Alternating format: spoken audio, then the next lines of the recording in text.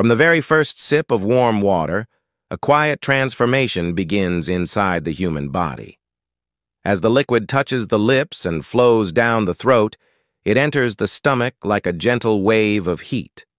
The warm temperature relaxes the gastric walls, awakening digestion and preparing the body for deeper nourishment.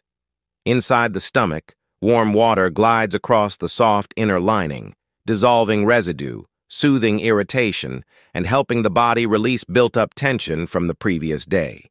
Slowly, the liquid moves downward, traveling into the intestines, where the real magic begins.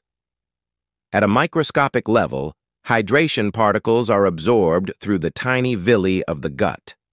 Each glowing droplet enters the bloodstream, spreading through arteries and veins like a soft internal sunrise. Organs brighten, cells rehydrate, energy begins to rise from within.